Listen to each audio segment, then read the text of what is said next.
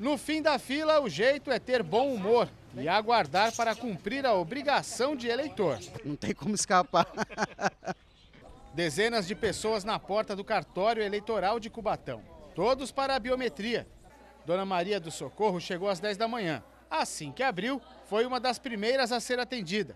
Cadastrou as digitais, tirou foto e em cinco minutos estava com o título novo. Tá tudo certo agora? Nota 10, é pouco. Agora é só votar. Só voltar, se Deus quiser. Enquanto eu tiver perna de saúde, eu volto. E, e mais fácil agora, né? Só colocar o dedo? Nossa, foi maravilhoso, maravilhoso. Cubatão, Mongaguá, Itanhaém e Peruíbe são os quatro municípios da Baixada onde é obrigatório realizar o cadastramento biométrico. Aqui em Cubatão, 40% dos eleitores ainda não fizeram.